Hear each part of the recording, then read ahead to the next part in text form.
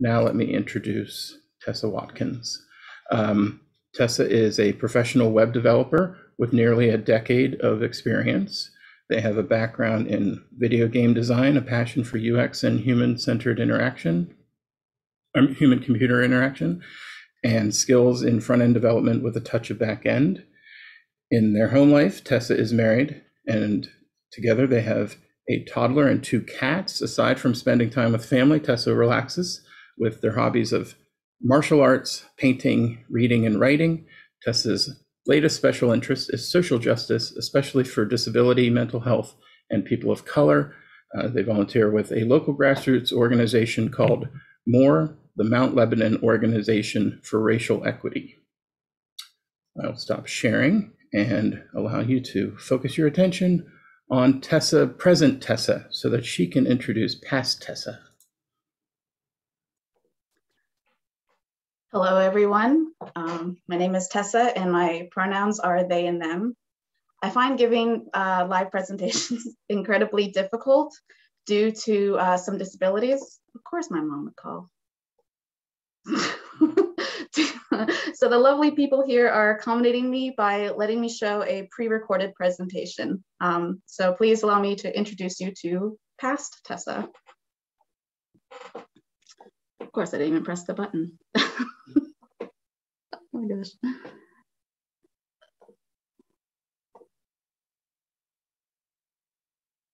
Thank you, Present Tessa. Technology is awesome, isn't it? Present Tessa will be able to answer questions in chat while I talk your ears off. It's kind of a good cop, bad cop scenario, but with time travel. I want to get some weird disclaimers out of the way. Thank you, Present Tessa. Technology is awesome, isn't it? Present Tessa will be able to answer questions in chat while I talk your ears off. It's kind of a good cop, bad cop scenario, but with time travel. I want to get some weird disclaimers out of the way, and everyone is going to end with, because I'm autistic. You might see random pop culture audio or video clips. This is because I have echolalia, and it can be triggered by pretty much anything, including my own thoughts. So to help you experience it, I'm going to add them to this presentation because I'm autistic. And there's gonna be some jump cuts, sometimes in the middle of a sentence. I can speak flawlessly when I want to due to the magic of technology. I have deficits with the naming neurocognitive skill, so real-time conversations with me tend to upset and or annoy the neurotypical audience. For example, I struggle to record the 40 second promo video for this talk.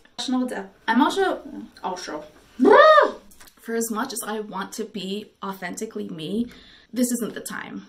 The world at large does not yet accept autistic people, so I'm editing myself to be acceptable because I'm autistic.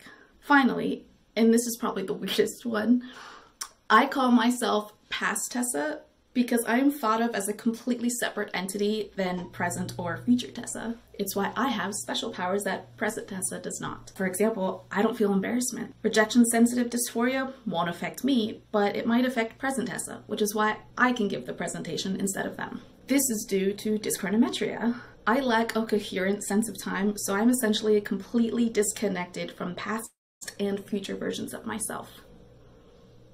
Ah, there's that word connection.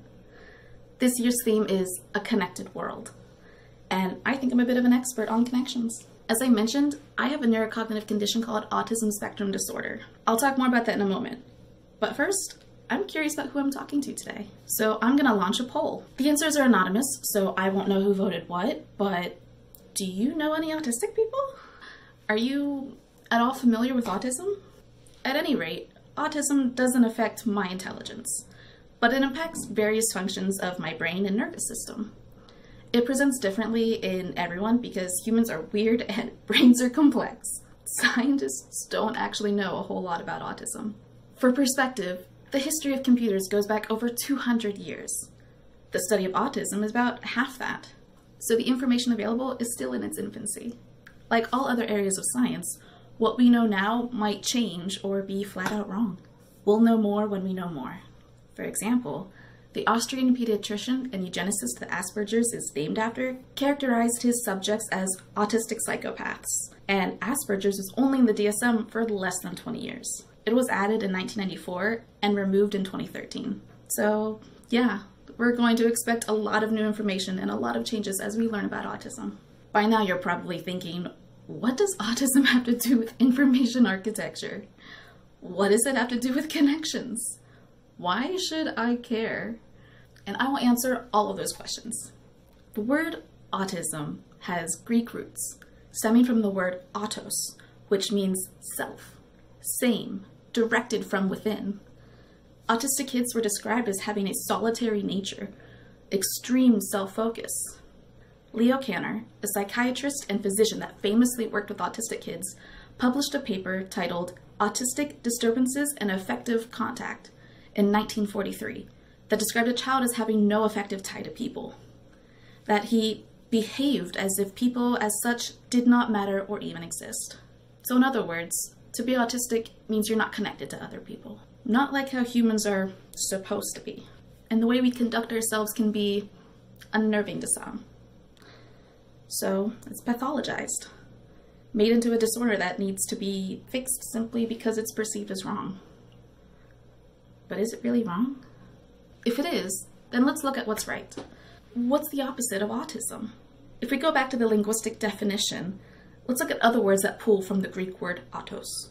We've got automatic, like a car's transmission that will change gears by itself. You don't need to manage the clutch.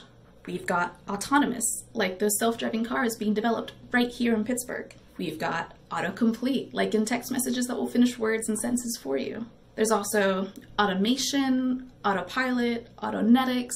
The obvious opposites of those words are things like manual, dependent, mindful. So if autism means self, then the opposite must mean other. In Greek, that word is allo. So while I'm autistic, someone who isn't would be called allistic. Allism is the perceived default neurotype for humans. We're pack animals. We're supposed to need and depend on each other for safety. Our babies are completely helpless at birth. Any deficits in communication among our species is pathologized.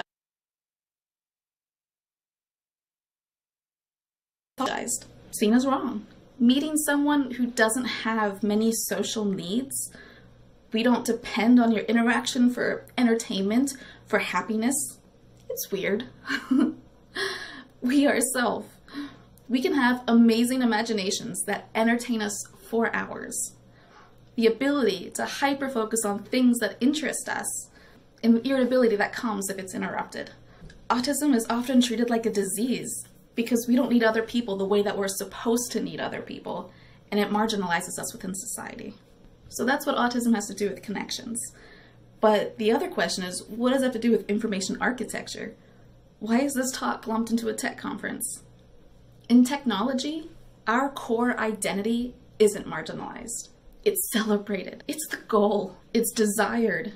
We want to create these self driving cars, reports that generate themselves, programs that run automatically, sensors that can detect things in our environment without needing a human.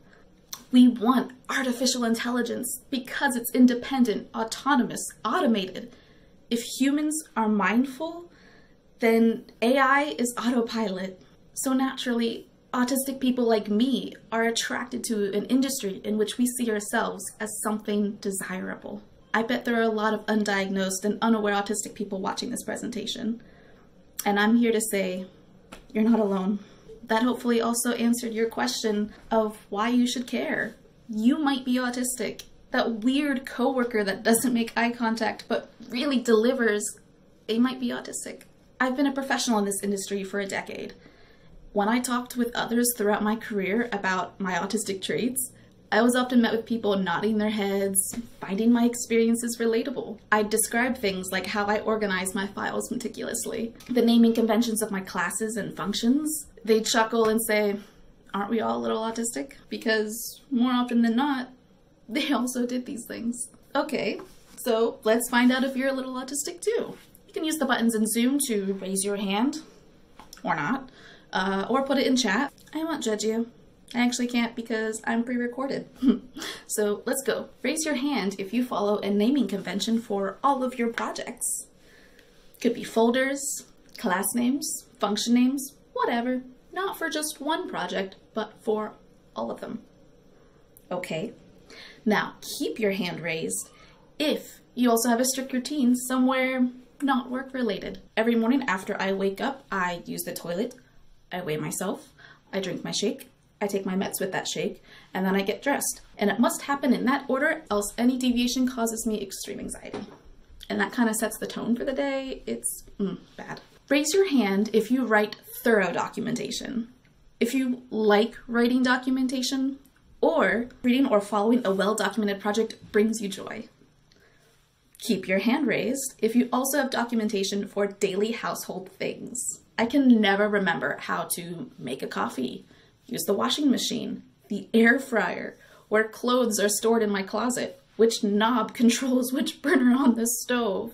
I have documentation for life skills. Raise your hand if, when you realize that there's a prerequisite for a task, that you drop what you're doing to complete that prerequisite before you can resume your task even if it's just a nice to have feature in not necessarily blocking.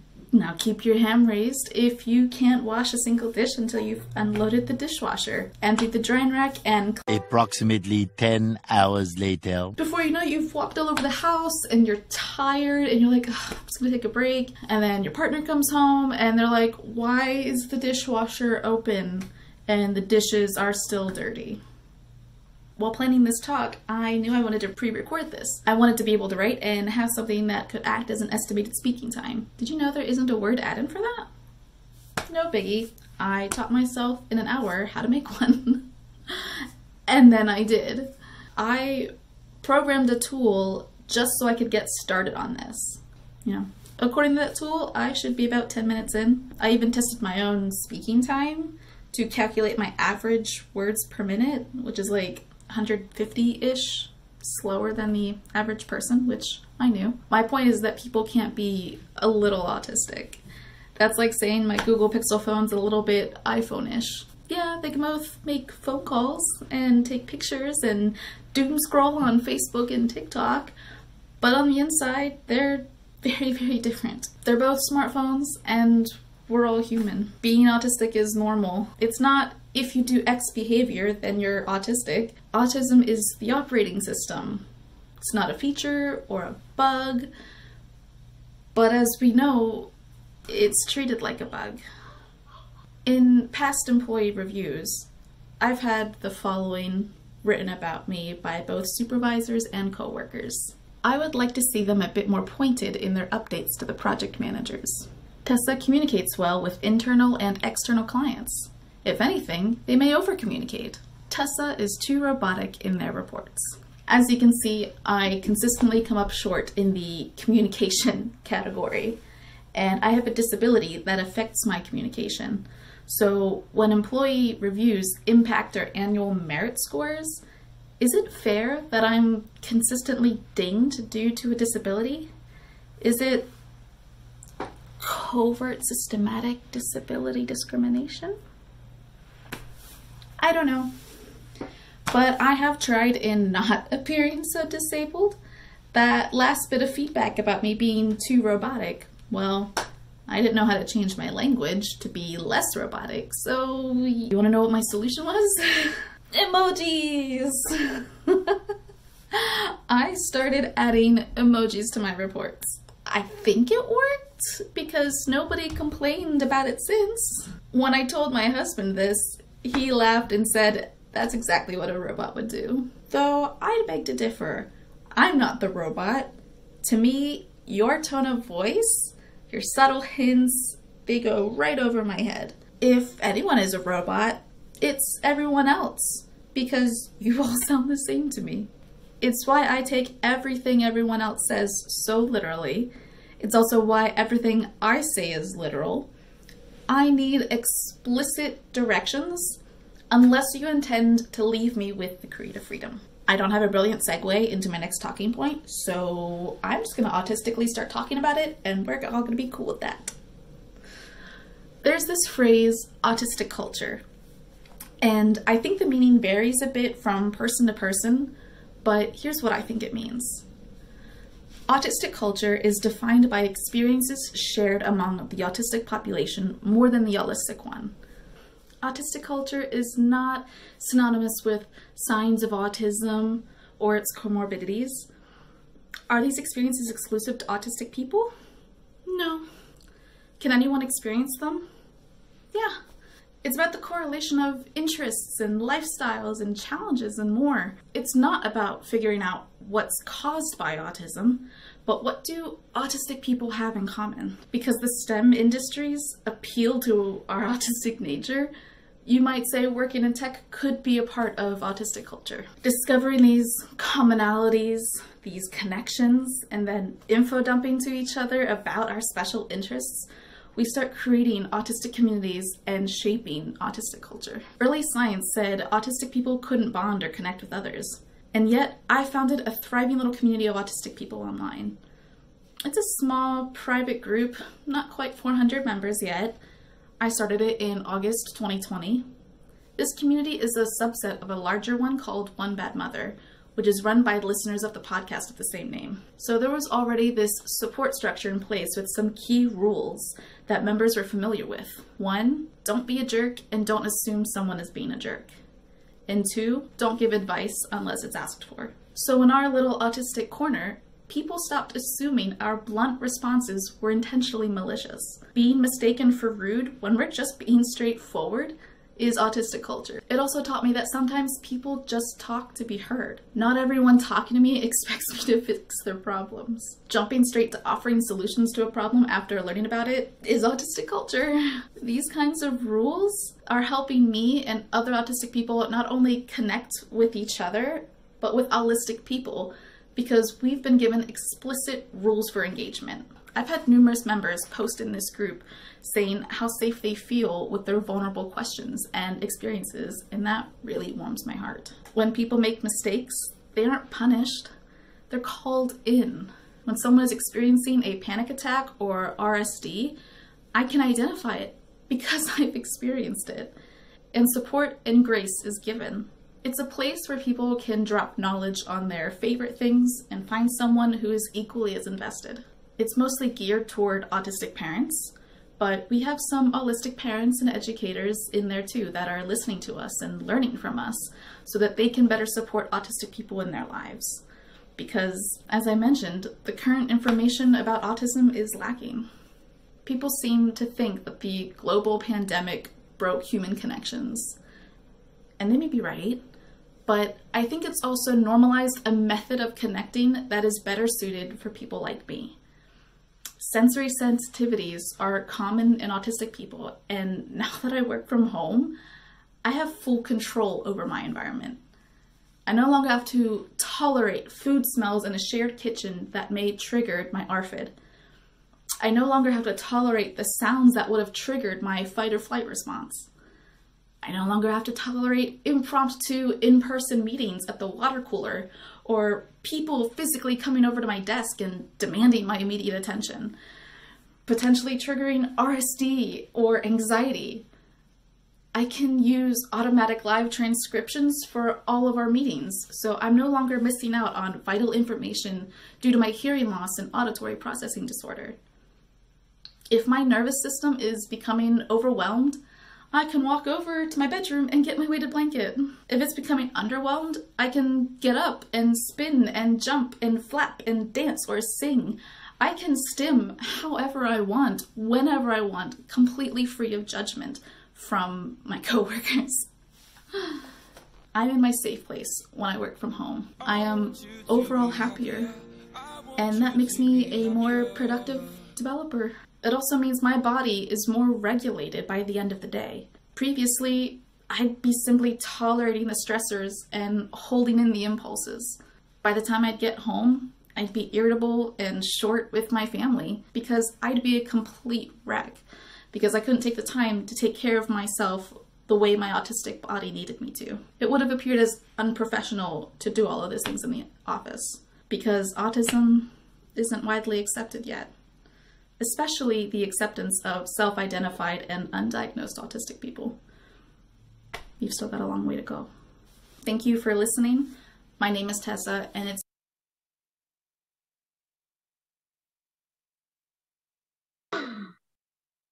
I had uh, a timer to automatically transition the slide when the video was over, but because clicking around on my mouse made the video stop, it just cut me off. Should I publish Um, the poll now? I, I, I didn't notice the time when I was supposed to publish the poll, I guess. Sure. Um, yeah. yeah.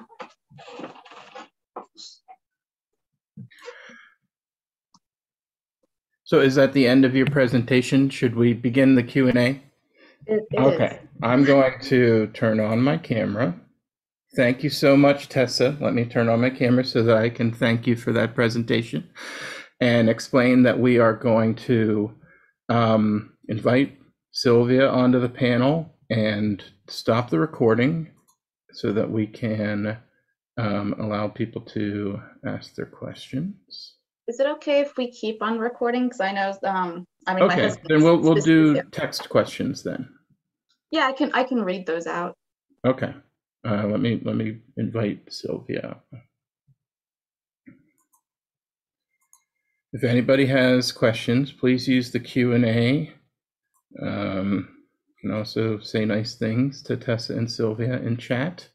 And there is a poll for you all to participate in.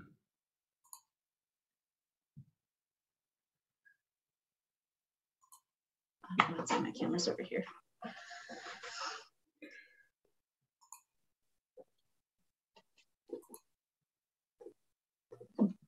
Tessa, that was so articulate and witty and insightful. I wish I could embody your superpowers. Unfortunately, only past Tessa has superpowers. Present Tessa is still very much And you seem to have found a spectacular solution. I mean, uh, the the the or any superhero's origin story is is maybe not really complete until they learn how to take advantage of their powers, and and you managed to do that. Thank you to both Sylvia and Tessa for sharing with us. Really Oh, I see. Tessa's mom. Oh. Yeah, she was one that was trying to call at the beginning and I just declined. Do we have any questions?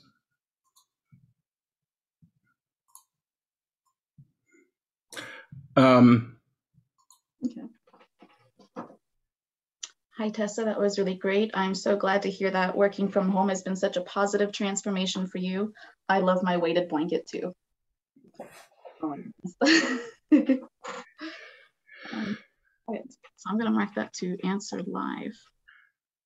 uh, Uh, so, Sylvia, do you notice any kind of overlap um, in between the two about um, what you were pres presenting about managing and creating culture um, and um, what Tessa has presented? I mean, did anything ring true to you as um,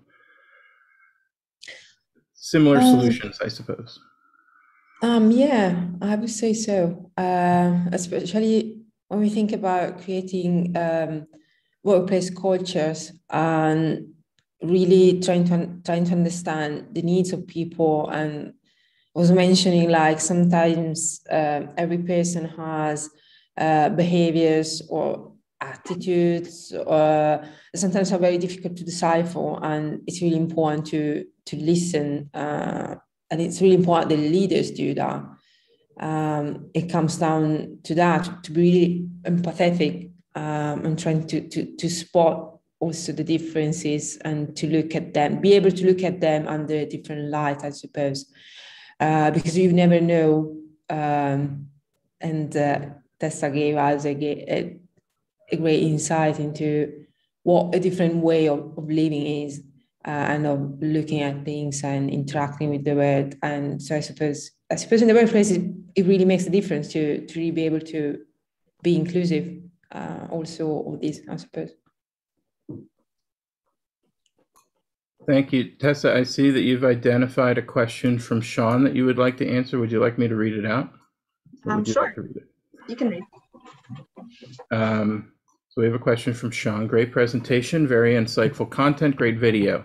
Hugely helpful on helpful on better understanding friends and family or coworkers who are autistic. My question is for Tessa. How do you broach the topic of someone being autistic? In other words, isn't it harmful to suggest someone that they might be autistic, especially the baby boomers among us who might have grown up during a time where it was a little taboo to be diagnosed? Um, let's see. So I think my first question is, who are you harming? Um, because if the if the question is, are you harming the people that are already diagnosed as autistic? Um, because I know a common, sorry, my words are missing. um, a common.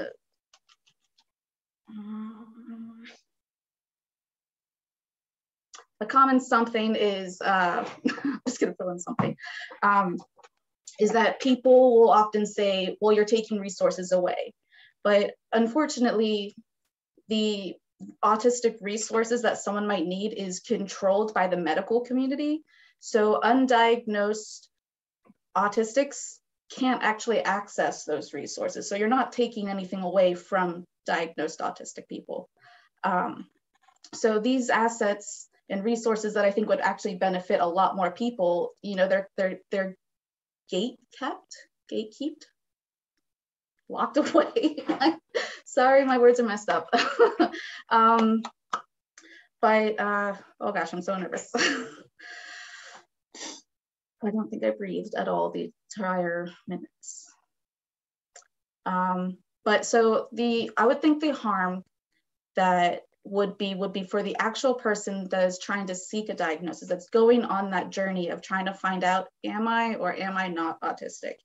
And i once read and i keep parroting this is if you think you're autistic stop because you're not trying to trick yourself.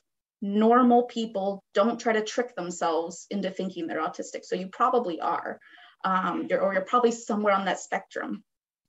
So the real harm comes from trying to seek that diagnosis and you find out um, where you have these doctors that have different uh, backgrounds, they have different thoughts on what is classified as autism, um, because only in 2013 did all of those diagnoses actually fall into the ASD umbrella. So even if you would have been diagnosed with PDD NOS, some doctors are going to see that and like, well, I don't, I'm not going to actually follow the DSM and I'm not going to say that this is a diagnosis. So I'm not going to give you anything. In fact, I'll just write it off as anxiety, or I think it's just trauma because I can't verify that this was uh, happening your entire life.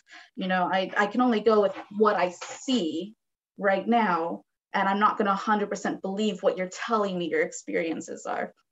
So it can get um, and, and that's really harmful because then you go home thinking wow that doctor said i'm not autistic but i relate to so many autistic people. I should just leave the groups. I'm i feel like i'm taking up space or i'm appropriating autistic culture.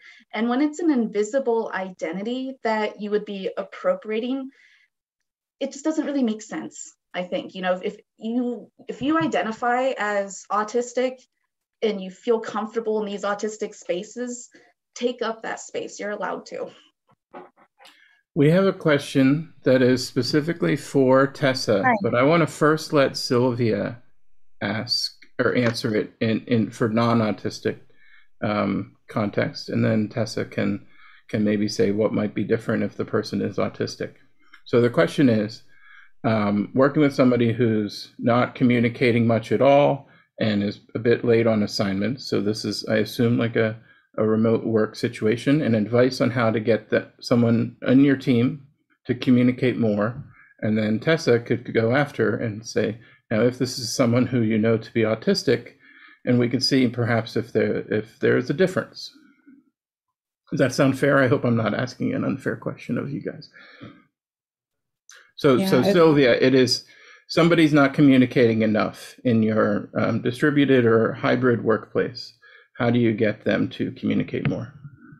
Yeah, that's a great question. I suppose uh, that would be uh, a red flag that maybe uh, the connections in the regions are not working properly uh, in a remote setting. Then maybe you you think um, it, it, comes down to to go and, and, listen and asking. And there's an awful lot of literature um, that kind of encourages leaders to, to kind of go and, and seek try to, to seek out what are the causes uh, what might be the causes for just, just go there and just ask to your employees what's going on. It might be they've got private issues uh, they maybe they want they, they may not want to talk about them or maybe they but at the same time you're giving impression that you care and and, and they may, may may we have to open up eventually uh, about about about about these issues but it can also be something more related to work for example, like um, feeling that they're not up to the job or they can't do that or they don't know where to start from. And this is very common. Um, but it's usually maybe a major red flag, especially for new hires. If you, if you someone new in the team and you are in a hybrid or remote situation, if they're not communicating that much, you you may foresee that they're kind of disconnecting or trying to create a niche for themselves and they're not like connected to the the collective levels I was I was talking about before, like um, not connected to to the bigger purpose of the organization. So they they might stay at the company uh, because they like may they may like the job or they may like what they're doing. But the thing is that they're not connecting to the organization as a whole, and this is very dangerous because that means that at the end they're not gonna they're not gonna create that synergy and maybe potentially leave uh, when another occasion arises. So that would be, yeah, I, would say like try to address as soon as possible this situation or just try to, you know, pick on a bit on, on people, just try to encourage them to participate in space. If you don't want to start right away to ask what's going on, but I would recommend asking now uh, at the point. Um, it's really important and it must be a leader, a team leader or like a senior manager just go and ask what, what's going on to, to the person. Yeah. Thank you very much. So Tessa, do you feel that the same approach works if you know the person to be autistic or that you would uh, suggest a different approach? So anytime someone asks the question, how do I get them to do anything? I, I always encourage you to reword it and say, what is the barrier or barriers that is preventing them from doing something? Um, and it looks like just from reading this, if they're having um, issues submitting complete assignments and they're not responding to the emails, I feel like there's a lot of mental anguish going on, um, and it could be caused by personal things, professional things. It could be caused by a lot of stuff. So that is something that you're going to want to talk to them about um, very gently at some point. But I think for for a relatable story, um, I also have an LLC on the side where I do web development for small businesses and startups. And I once had a client who just had wanted me to do a very small update. And I hadn't responded to them in like two months. It was to the point where they were sending me a text message saying, I'm worried about you. I, if, if I don't hear from you, I'm going to have to call the cops to do a wellness check. Um, so of course I emailed them and, or I messaged them back and I'm like, here's my husband's phone number because I'd rather you not call the police. That's a whole different thing. Um, but here's my husband's phone number and you can call him if you if it ever gets to this point again. But the reason why it got to that point is just because I had so like every day I was stretched thin in my mind. I just like never got around to doing the thing that they had asked. And I was so embarrassed by it. And I didn't want to report to them saying, I'm sorry I didn't do this, because it would have been repetitive. It would have been every single day for two months straight saying, I'm unreliable, I'm an awful human being, and this is feeding into my depression. And it's just, it makes it that much worse. And I didn't want to be that vulnerable with the client, especially because I'm supposed to be professional. I'm supposed to be responsible and reliable. And I was just, I, I would rather be no contact and pretend like, I'm oh, sorry, cat, pretend that I everything was okay than um, then let them know that. Um, so to essentially ask them uh, outright, you know, what's the problem? Why aren't why, why aren't you doing this and why can't you do that? They're they're going to shut down. They're not going to answer that question the way that you want them to and they might just lie to your face saying i will do it i will do it and that is a lie because they know deep down they're not going to do it for another week because they have all this stuff going on um, so coming in saying hey I noticed this is happening. Um, what can I do to help? How can I help? Um, is there, and I know some people, especially like me, they, excuse you, that's a mixed signal. Just bit me and then that. Um, oh. sorry. Um, okay, now I just lost my train of thought. um, hmm. sorry, that was distracting. I knew I should have Okay, logged out. we can move on. Hi. You want to move on? Tessa. Hi, this Here's is Jen. Um, yeah, Tessa, I feel for you. I think we all we all do sometimes when we have something that we've delayed. Um, but bad news never gets better with time, does it? So it's just it's just about it and and reach out for help.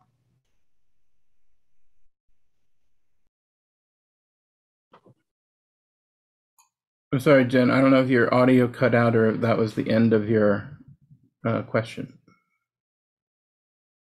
Uh, she was expressing to me earlier that she had some Wi-Fi issues, so I might have lost her audio there.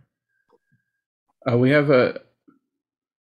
Um, we are at uh, 12:45. Um, so um, let me s- stop the recording and we can continue and, and i could turn on um, after the recording's done we could turn we, i could allow everybody to be on camera if you want to continue asking questions that way